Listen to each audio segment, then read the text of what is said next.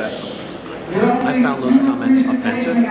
Um, when, when you start to characterize people based on the religious clothing they wear, I just find that in the city of New York, outrageous. I can't believe that the mayor would have resorted to something like that and almost bragging about it. So I think he owes this community and communities across the city of New York a huge apology. I think it was wrong, and I think it was now you're running for mayor, right? I'm definitely running for mayor. Definitely running for mayor. Now, is there something you would build on as mayor uh, in building community relations so stuff like this does not happen? Well, I, I think it is. I think the tone comes from the mayor. I think the mayor is the person who helps to set the tone. I think in, a, in being and appearing in communities, uh, Orthodox communities across the city, of New York, that sends a message. That you know, the mayor being there sends a message that we are one city.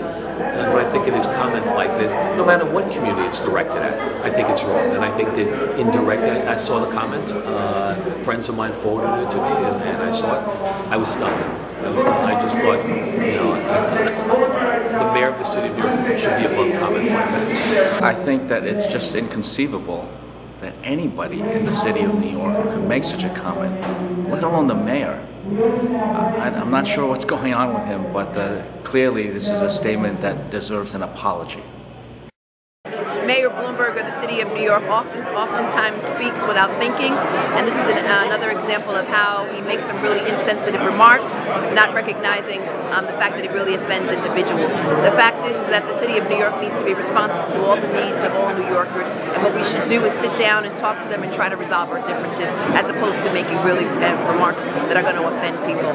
Well, one of the uh, biggest mistakes a person often makes is that if they're from a particular group, they believe they can be offensive to that group. Um, pain doesn't dissipate because you are a member of the group that you are inflicting pain on. His comments were wrong.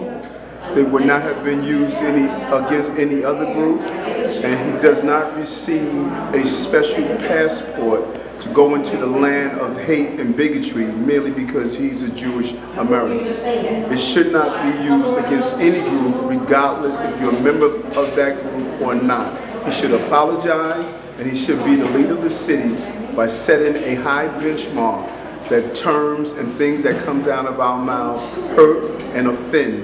And a mayor of a city of the melting pot like New York should not offend any group. Now on to the good things. Are you running for anything next year? Well, um, in November, um, we're going to announce uh, the outcome of our exploratory committee.